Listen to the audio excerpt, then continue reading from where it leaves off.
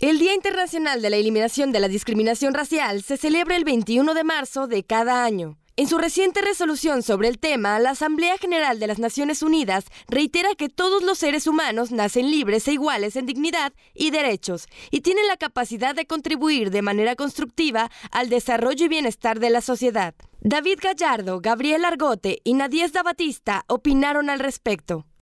En la actualidad, con, con con respecto a los derechos humanos, es muy importante que la, toda la sociedad esté en la misma sintonía con respecto al respeto de todas las personas, ya que todos los seres humanos pues somos iguales, ¿no?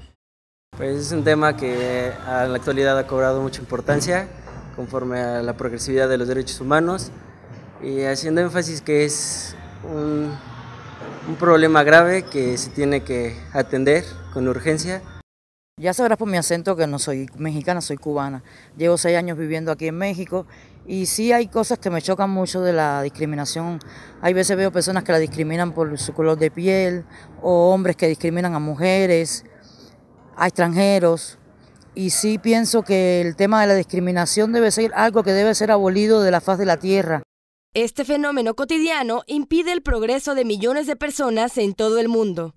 Víctor Manuel Cid del Prado Pineda, presidente de la CEDH, abundó.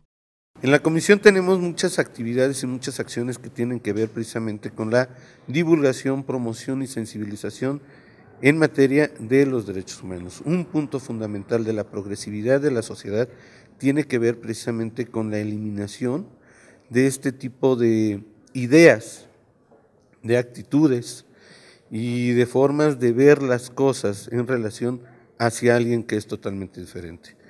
Cid del Prado Pineda comentó que el sector más afectado dentro de la entidad son los migrantes, seguido de los miembros de la comunidad gay y por último las personas con discapacidad.